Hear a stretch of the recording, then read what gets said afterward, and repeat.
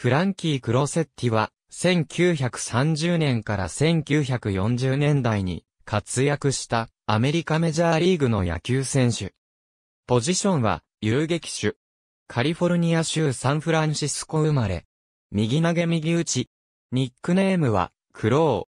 ー。選手及びコーチとして40年以上ヤンキース一筋で活躍した守備的内野手。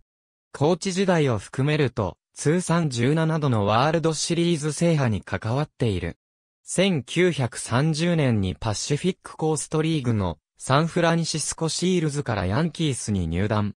1932年にメジャーに昇格し、リンラリーに代わって、レギュラーの遊撃手となった。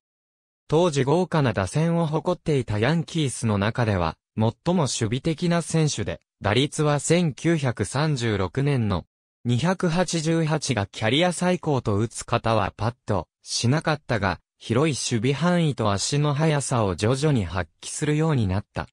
1936年からは5年続けて、リーグで最も多い支給を受けながら、毎年ほぼフル出場を続けた。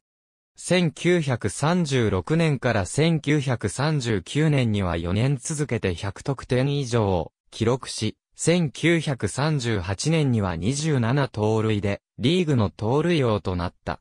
1930年代後半は、守備面での活躍も目立ち、1938年と1939年は、当時の二塁手、ジョー・ゴードンとのコンビで、リーグ最多の併殺を取っている。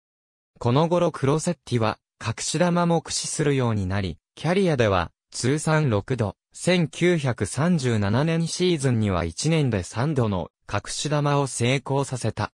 1940年代に入ると、ショートのレギュラーは、フィル・リズートらが取って変わり、クロセッティは二塁や三塁を守ることも多くなった。1946年からは、コーチ兼任選手となり、1948年を最後に選手を引退したが、ヤンキースのコーチは、その後1968年まで20年以上にわたって務めている。ヤンキースを離れた後、1969年にシアトルパイロッツ、1970年と1971年の2年間、ミネソタツインズのコーチを務めた。2002年にカリフォルニア州で死去。ありがとうございます。